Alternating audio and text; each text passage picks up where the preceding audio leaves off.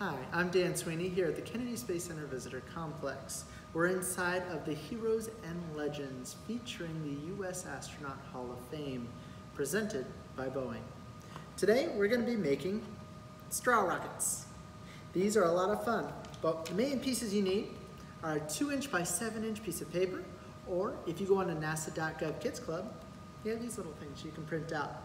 And it makes it look like our newest rocket called the Space Launch System straw, a little bit of tape, and some cardstock for the fins. And of course, our handy dandy scissors. Now, the first thing we're gonna do is we are going to be wrapping our paper around the straw. If you have the picture, you want the picture to be facing down on the table as you roll it. So I like to make mine really tight, but you guys can do all kinds of different experiments. Make them super loose, make them super tight, see which ones fly the best. Now, after I roll the whole thing out, we're gonna take a piece of tape and we're gonna stick that tape right there on the middle so it doesn't unroll.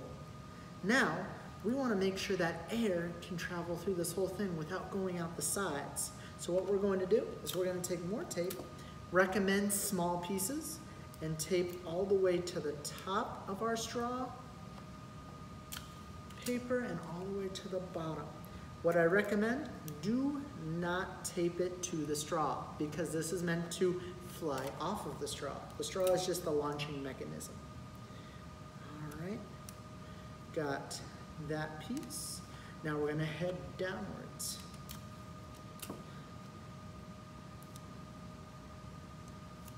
So you wanna make sure that this is completely sealed again because you don't want any air leaks. You want this rocket to fly really, really, really far. take just a little bit of tape and finish this off. There we go.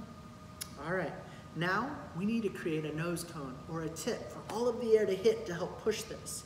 So on this one, you'll see the folds three and four, but what we're gonna do is we are gonna flat, move the straw out of the way and flatten the top like so and we are going to fold down the paper, move the straw completely at this point, and then fold it down again to where you've done about a half inch and then a half inch again. And then we're gonna take our tape and we're gonna tape that down, make sure it doesn't go anywhere. So what I've done is I put the tape on the side of the fold, and now I'm gonna wrap that tape around to make sure it doesn't go anywhere. Awesome. Now, almost finished. We're gonna add on a tail fin. That stabilizer tail fin is going to allow it to fly straight. So what we need to do is get just a little piece of cardstock and we're gonna make a triangle. You can make it any kind of triangle you want, but I prefer an equilateral triangle, just like this. All you need to do is get a piece of tape, that's just slightly larger than it. Stick it over top. Find the spot you want to put it on. And secure the tape. Put the tape directly onto the rocket, keeping your tail as even as possible. Next, insert your straw again, leaving a little room at the end for the air to gather.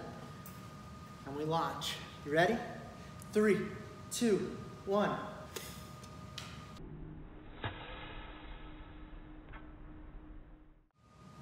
Go for launch.